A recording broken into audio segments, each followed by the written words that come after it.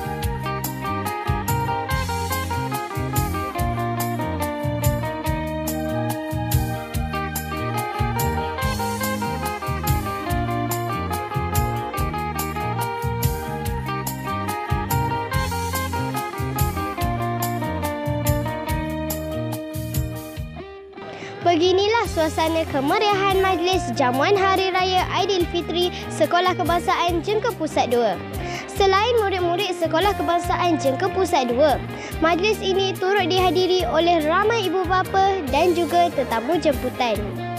Semoga majlis ini akan mengeratkan hubungan sesama kita di samping peluang untuk memupuk kemesraan dalam persahabatan. Sehingga kita bertemu lagi. Selamat Hari Raya!